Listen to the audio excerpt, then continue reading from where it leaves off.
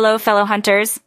Welcome back to SciTech Nexus, where we dive into the gaming universe.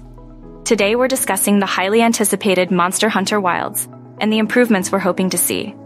But before we delve into the wish list, make sure to subscribe and hit that notification bell for all things gaming. Let's get started. First on the list is an enhanced multiplayer experience.